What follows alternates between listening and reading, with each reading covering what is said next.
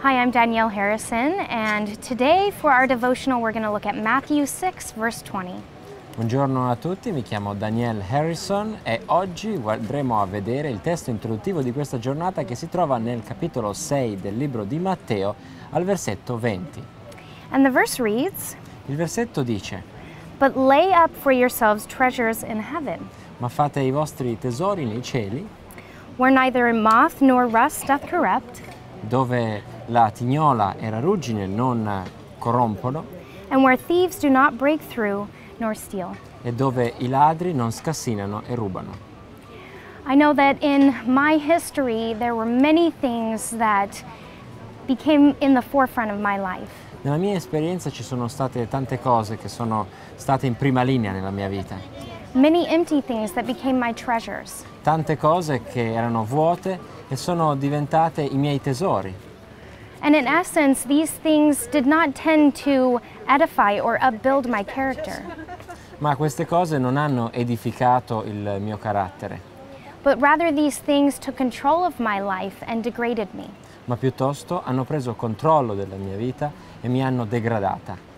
And whether you have an extreme history like mine or something more subtle, Sia che si tratti di una storia estrema come la mia, oppure qualcosa di più normale, tutti noi viviamo in un mondo corrotto dal peccato. E viviamo nel pericolo di diventare eh, seguaci di un idolo, of idol. perché tutto ciò che sposta la nostra attenzione da Dio è un idolo. This is how I have be this is how I have learned to view my history with the things that I used to take part in in the world. Questo è come io ho imparato queste cose per mezzo della mia esperienza nel mondo And this thought I believe is confirmed in this quote. e penso che in questo versetto questo principio viene confermato. It says that selfishness is a soul destroying sin. E vi leggo ora una citazione che dice che eh, l'orgoglio è un peccato autodistruttivo. Under this sin comes in covetousness, and this is idolatry. Per mezzo di questo peccato ne vengono altri, come per esempio il desiderio di ottenere altre cose e questa è un'idolatria, All things belong to God. perché tutte le cose appartengono a Dio. All the property we enjoy is a result of divine benevolence. E tutte le proprietà, tutte le cose che possediamo e possiamo godere sono il risultato della sua benevolenza. Um, I'm going to repeat that that last sentence because I said I said the it's beneficence, not benevolence. Ah, ok, it's Okay. fine. And All- all things, yeah. All the property that we enjoy is the result of buying.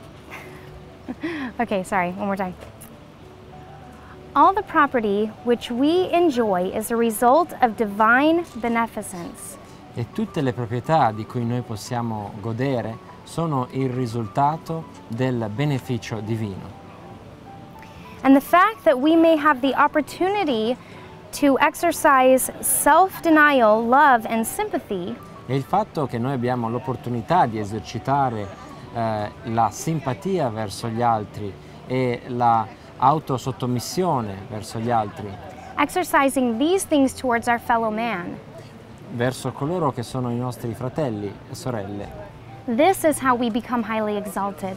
questo è il modo nel quale noi possiamo essere esaltati. So we look to the things of the world to fill the space inside of our heart.